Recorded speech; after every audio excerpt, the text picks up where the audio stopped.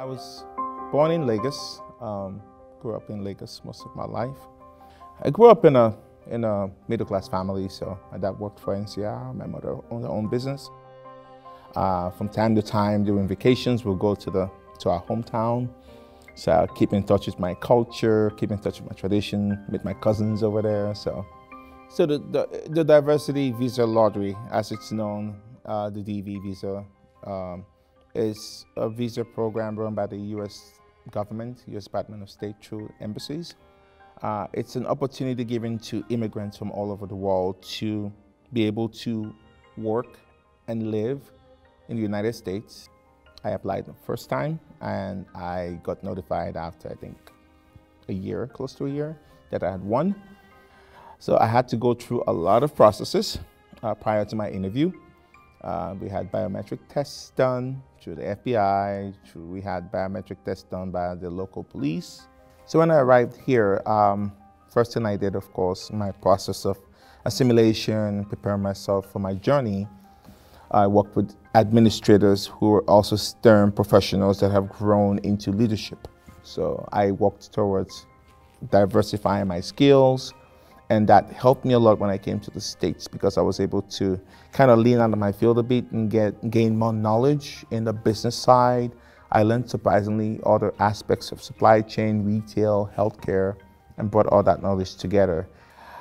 So I learned to be able to continue my journey to aspire into leadership, expanded my knowledge base, uh, bringing that business side, project management in, mixing it with my STEM skills, and that has accelerated my career in my current company.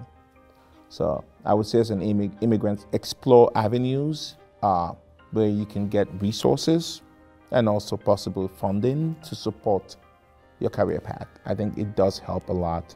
Being an immigrant is difficult, uh, but with the opportunities and determination, I think the American dream is not far away. It's, it's attainable. I am married. Uh, my anniversary is coming up, uh, 11 years married. know my beautiful wife for 12 and a half years. Uh, we have three lovely kids, three boys, Joshua, Caleb, and Daniel. They're my joy. My wife's name is Darlene. She's one person uh, that is open to culture.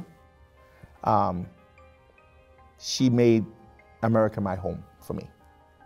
Teaching my boys also to appreciate that culture goes a long way. And, you know, it kind of stares away from the stereotype like, hey, if you're from Africa, uh, it's different. We're the same people. We just have to understand each other. I, I, I love fishing. I grew up, uh, I did that a lot with my late grandfather. That was our thing. We would go fish. So fishing in Africa is different from fishing here. In Africa, we're taught to fish with nets. So we knit the bait. Takes a long time, very tedious, but you go for a big catch. Um, coming to the States, I learned how to fish with a and fishing pole. You catch one fish at a time. Uh, big difference. But I love fishing. I, I, my wife's dad is a great, he owns his own boat. So when we're in California, when he comes here to visit, we always go fishing. That's our thing. And I've surprisingly become a very big football fan. I love football. Um, reminds me of rugby, a little bit of rugby back home, but learning football, watching football. Uh, I always have my friends tell me, if you were born here, you would be a football player. I don't know how true that is, but it's fun.